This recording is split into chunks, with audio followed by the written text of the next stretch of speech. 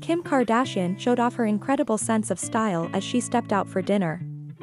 The SKIMS founder looked red hot in a vivid snakeskin trench coat. Underneath she wore a pair of black leggings and black boots. Her luscious raven tresses were parted on the side and cascaded down her shoulder and back in gentle waves.